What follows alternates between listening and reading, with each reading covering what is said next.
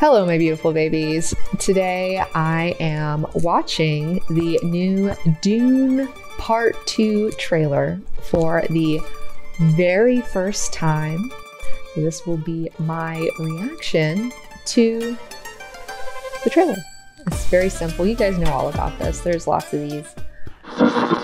But before we dive into the sands of Arrakis, let's talk about my upcoming Kickstarter launching May 30th for my very first full length feature film, Akira the Documentary. That's right, I'm making a documentary about the greatest hand drawn animated movie of all time, featuring interviews with Mike Haller, the producer who helped bring Akira to America, as well as Marvin Gleicher, the co founder of Manga Entertainment, Joe the Peacock, the collector who amassed the largest archive of original production art from the movie, Ed Piskor, the Eisner Award winning comic book artist and co host of Cartoonist Kayfabe on YouTube, and many, many more. Akira the documentary is a love letter discussing the huge cultural impact made by this landmark film and its enduring influence on pop culture. Learn about its creator, Katsuhiro Otomo, and the army of people who came together to create this epic beast. Come on a journey with me as I explore the mind blowing techniques used in this iconic film that set the bar in 2D animation and continue to dazzle audiences to this day. Thanks to all your love and support over the past decade, we've been able to create hundreds of videos for YouTube. And now, it's time for us to take it to the next level. Pledge to my Kickstarter, and let's make Akira the documentary together. All right, here we go. Breathtaking. When you see sand here, imagine water. If you dive in, you can't reach the bottom. You dive in. Yes, it's called swimming. I don't I don't believe you.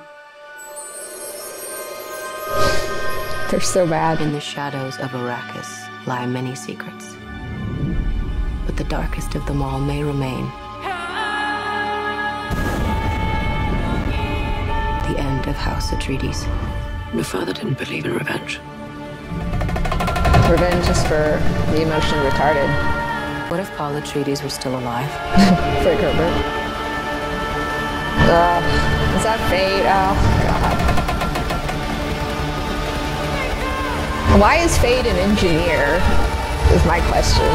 Oh, he looks terrible. Oh no. Have you ever had a dream about your first ride?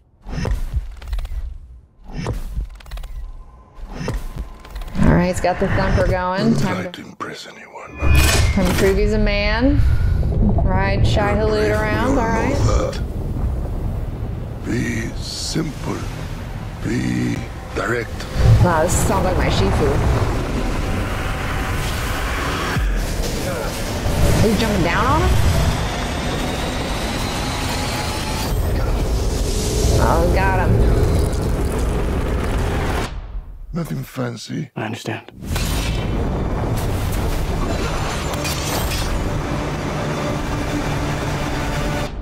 Nothing fancy.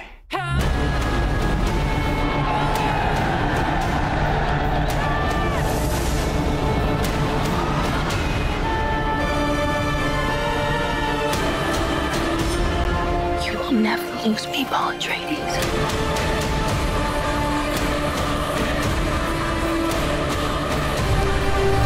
Hello, Margot Fenring. All right, all We gave them something to hope for. That's not hope! Is she like tatted?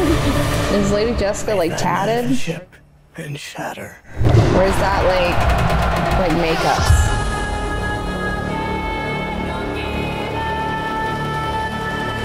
All right, I did it. That's tats. The people on Twitch live are telling me that she is in fact tatted. That's pretty hardcore. I like the tats. That's that's you know that's one way to say that you're you're really committed. is that you tattooed your face? The Bedouin, yeah, absolutely. So the Dune Part Two official trailer. It did. I did get a little hype watching him ride the worm. I'm not gonna lie to you. The worms. Shai-Hulud's the best part of the movie for me. I love seeing the worm, and that was cool. That was giving me a little bit of tingles. That I like that. Still not sold on Chalamet and Zendaya. Zendaya is horrific in this role.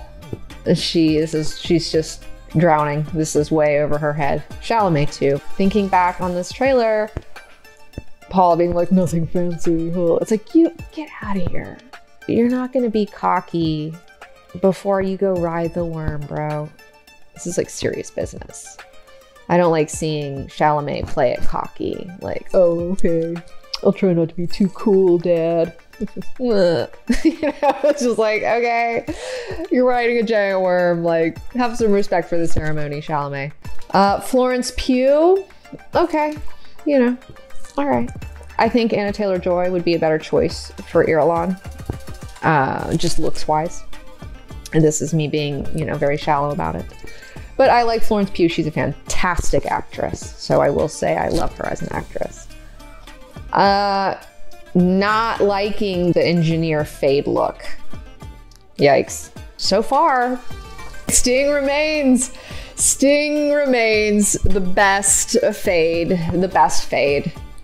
Not that I thought that this Austin Butler fella was gonna surpass Feyd, because or Sting is Feyd, but Sting remains undefeated because Sting he had he had hot twink vibes. He's wearing that wing speedo.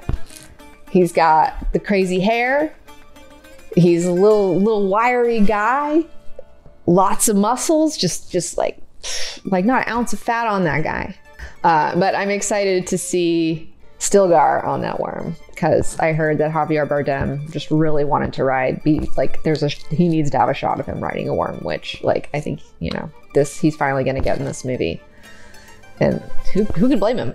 You know, Javier Bardem is just like such a great casting for this. I stand by him. He's just mm, mm, so perfect, so so so perfect. Um, anything else? I'm trying to think of what else. What else about this trailer? It's a trailer. Even though it's very beautiful and it sounds awesome and it just looks amazing and the budget's there and there's a lot of really great actors involved and it's just so much talent across the board. I just wish there were more weirdness. I'm just missing the weirdness. I love that's my favorite part of Dune. It's my favorite part of Dune is that it is just really weird. it's very, very odd.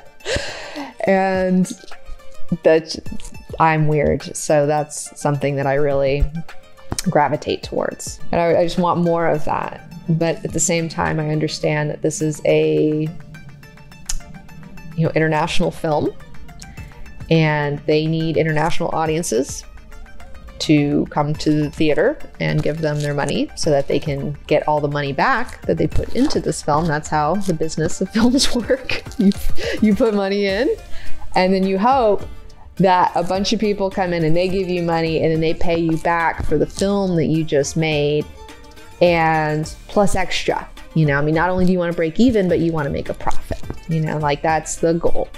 And so they need to make this accessible to as many people as possible around the world, international audiences.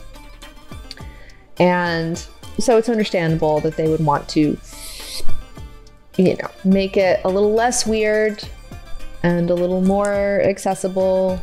And I get it because they're not making a movie just for me.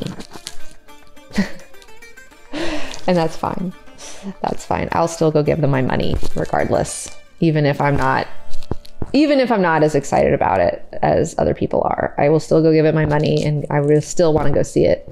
And that's it for my trailer reaction. Coming soon. The Berserk Manga Breakdown, Part 1 of 2.